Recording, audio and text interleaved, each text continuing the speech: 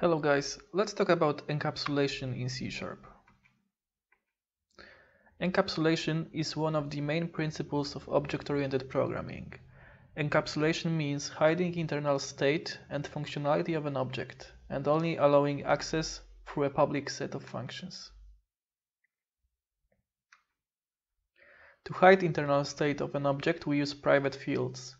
They can be accessed only by methods contained inside the class Let's see an example. Here we have a public class named person.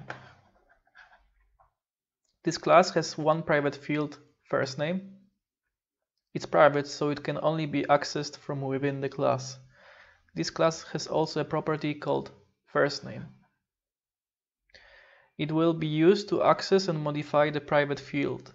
It defines a get method and a set method. The get method is used to access the field and the set method is used to modify the value of the field.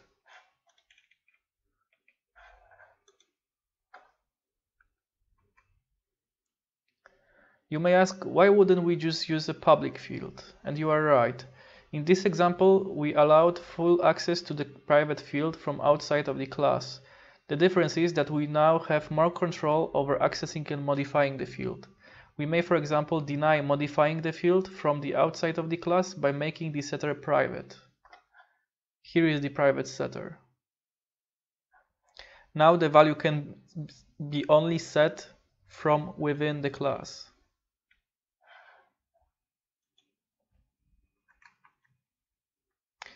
To hide internal functionality of an object, we use private methods.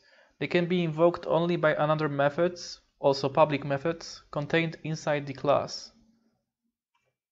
The transfer money method is private, so it can only be invoked from within the class and only in specific scenarios. This ensures that it wouldn't be invoked from the outside of the class. Hiding field and methods ensures a proper way of interacting with an object. It gives us control over what fields and methods can be accessed from the outside of the class and in which scenario. I hope that this quick video was helpful to you and I hope to see you soon.